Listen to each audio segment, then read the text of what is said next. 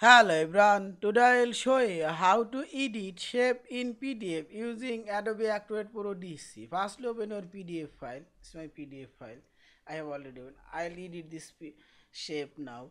Firstly click this tools option and scroll down, here you will find this comment option, click here comment option. And here you will find this comment, uh, sorry, shape. And select your shape and move your shape anywhere. Also you can decrease increase your shape. And click right button click properties. Here you can change shape style. But diamond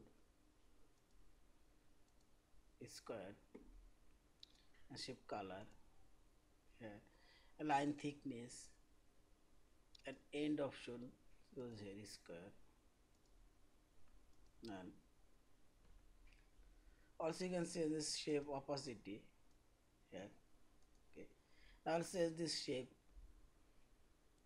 and you can increase decrease the shape area and move and click right button for properties and says shape properties opacity shape color shape fill color.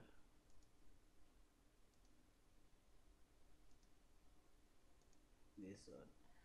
And line thickness increase decrease line style. This is. Also you can add new shape this is click right button properties. And change shape color. And click other color more color. This is like style here. Uh, also you can delete your shape here.